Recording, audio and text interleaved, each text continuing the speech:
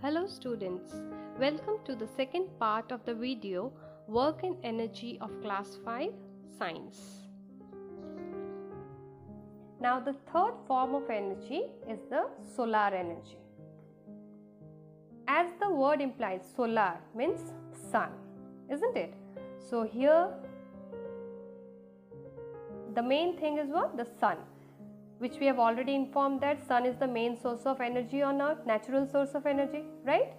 So what happens here? The sunlight passes through the earth's atmosphere in the form of visible light and infrared radiation. So with the help of these solar energy the green plants the green plants use this solar energy to make their food to make their food they use it to convert into sugar and starch and this process of conversion is known as photosynthesis isn't it? You have you must have heard this term photosynthesis. Photosynthesis is the process in which the green plants prepare their own food. Okay so this is one example and also the solar energy is being used by the solar cell panels. Okay the solar cell panels. You must have heard these words solar cell panels they are used to convert this energy into electricity. So, the solar energy is being converted into another form of energy that is electricity and is used to light lamps, operate fans and do many other works. Now, the next form of energy which we are going to study is the wind energy. So, first tell me what is wind mean? Wind is nothing but the moving air moving air is called wind. You have learned this, isn't it? So, the energy produced by the power of moving air is called the wind energy. Understood? The energy produced by the power of moving air is called wind energy. And this wind energy is used by the windmill to set a turbine in motion and produce electricity and to produce electricity. Wind energy is also used for sailing of boats and many other purposes.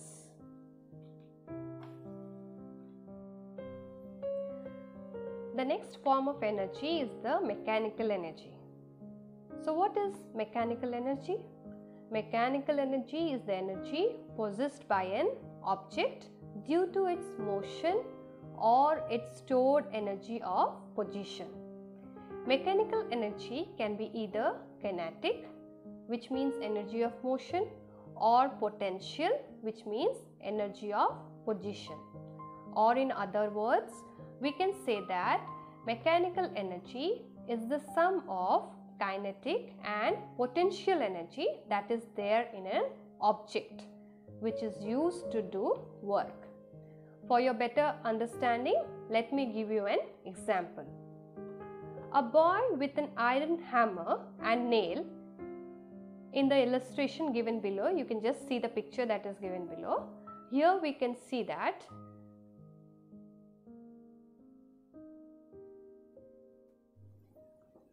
the iron hammer on its own has no kinetic energy but it has some potential energy which is because of its weight.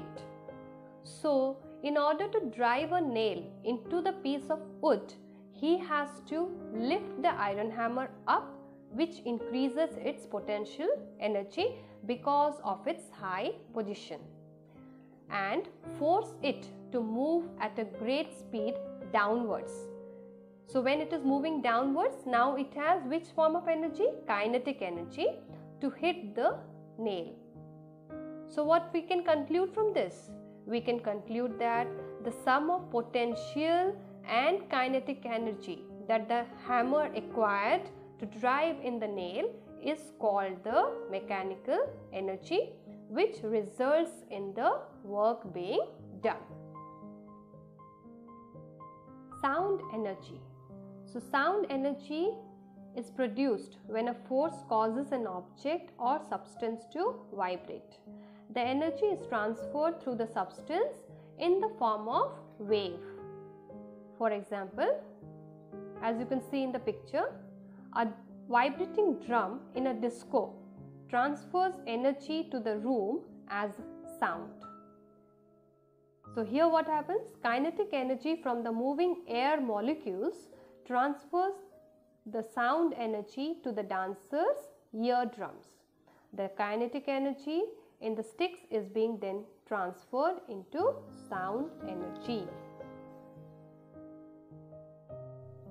Now the last form of energy which we are going to study is about the light energy.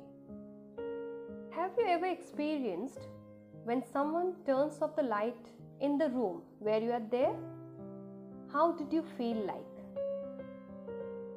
You were confused because you were not able to see anything around you, right? So, light is also a form of energy that enables us to see things, isn't it? We cannot feel it, but we can only see it.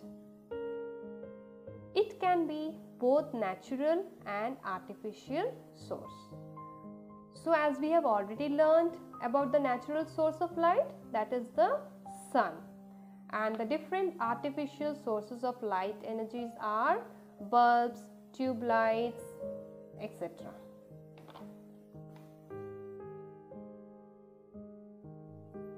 So children, now let's move on to our last key topic which is renewable and non-renewable sources of energy. The different sources of energy can be divided into renewable and non-renewable sources of energy. The first one is renewable sources of energy. So what is the definition of renewable sources of energy then? Energy sources that are unending in supply and we can use it again and again are called as renewable sources of energy. As I have already told you regarding the definition of renewable sources of energy, that means that are unending in supply, that are unending in supply and can be used again and again. For example, solar energy Solar energy is what energy? The energy that is provided by the sun, isn't it? So here what happens? Sunlight is trapped by the solar panels. Similarly, the another form of renewable energy is the hydro energy. That is the energy which is provided by the moving water or generated by the moving water. And another renewable source of energy is the wind energy which is the energy obtained by the windmills. And there are some more examples also like the windmills. In the windmills, the renewable source of energy or the wind energy has been used to move the turbines and produce electricity which we have already discussed. And we can also say that the renewable sources of energy do not pollute the environment. We can conclude it that the renewable source of energy they do not pollute the environment. Now the next source of energy is the non-renewable sources of energy. So what does non-renewable source of energy mean? Those energy sources that will ultimately run out, that will ultimately run out which do not last for a longer period of time, that do not last for a longer period of time are called as non-renewable sources of energy. Let me tell you some examples of non-renewable sources of energy. They are wood, coal, petroleum and natural gas. These sources are present in limited amount in nature and which will not last for a longer period of time. Thus, we need to use these energy judiciously.